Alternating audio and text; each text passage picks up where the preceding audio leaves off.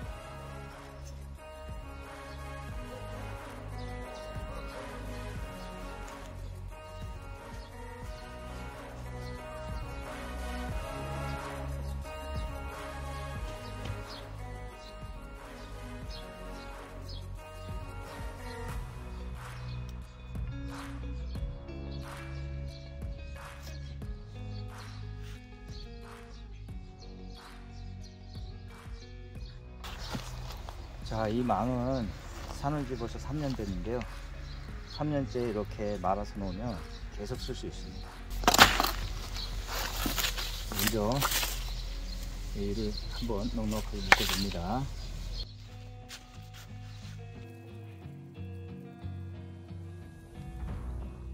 네, 지난해 쓰고 묶어놓은 자리인데 묶어놓으면 그대로 쓸 수 있습니다. 아래 위로 검은 선이가 있어요. 맨 위로 검은 선, 맨 아래로 검은 선. 하나를 잡아서 여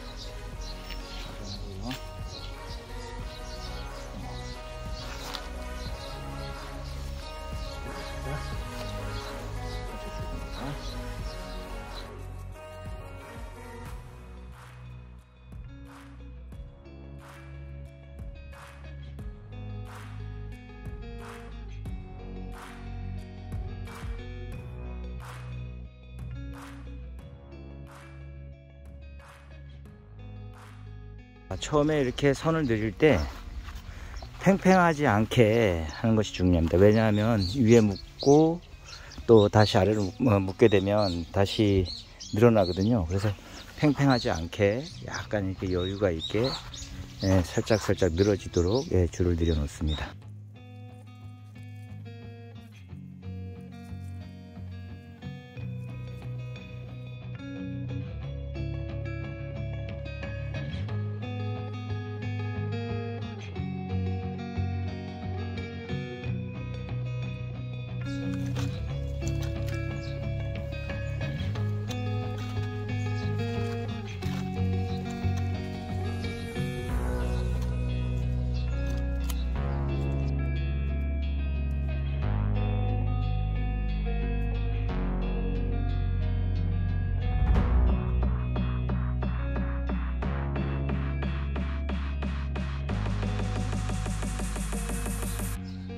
자, 망을 다 설치했습니다. 전체 모습 보여드릴까요? 자, 이렇게 망을 다 설치했습니다.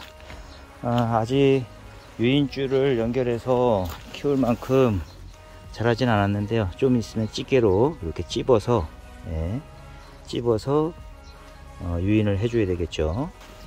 호박이나 오이 같은 동굴 식물, 뭐 토마토도 괜찮고요. 유인줄에 연결하는 집게인데요. 어, 요 부위로 줄을 잡고 요 부위로 식물을 유인하는 겁니다. 자 이렇게 네, 이 부위를 이렇게 집게로 찍고요. 그 다음에 네, 이렇게 해서 연결해 주면 됩니다. 자 이런 식으로 아직은 조금 예, 연결하기에는 키가 좀 작죠. 자 이런 식으로 연결을 해서 예, 유인을 해주면 됩니다. 자 처음에 약간 느슨하게 해서 예, 해줘야 아래로 당겼을 때 팽팽하게 잘 되고요. 어, 자세히 보면 이것이 그냥 낚싯줄처럼 하나로 되어 있는 것이 아니라 넝쿨손이 감을 수 있도록 예, 매듭들이 다 되어 있습니다. 예, 매듭들이 다 되어 있기 때문에 넝쿨손이 잡기 좋게 되어 있습니다. 그래서 어, 이 망을 쓰시면 오이가 잘 떨어지지 않고 잘 올라갑니다. 그래서 이 망 이름도 오이망이에요. 오이망이니까 예, 여러분들도 한번 설치해 보시기 바랍니다. 오이망은 가격이 아주 저렴합니다. 실타래처럼 되어 있거든요. 그걸 이제 사서 이렇게 나무 같은 데다 감아 놓으면 지금 올해 3년째 쓰고 있으니까 내년에 또 쓸 수 있어요. 이 정도.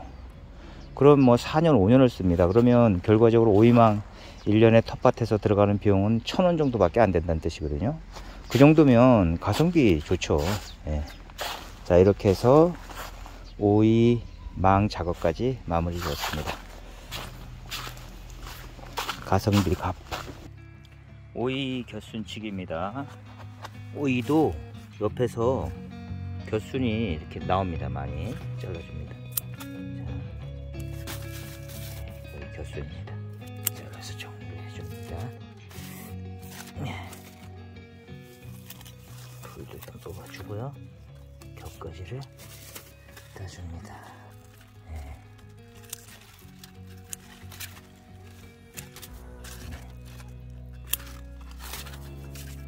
그다음에 밑으로 겹가지 그 다음에 넝쿨선 지네발이라고 하죠. 네, 잘라주고 오이도 두 개를 땄습니다. 오늘 수확한 호박과 오이입니다. 한 꾸러미 땄습니다.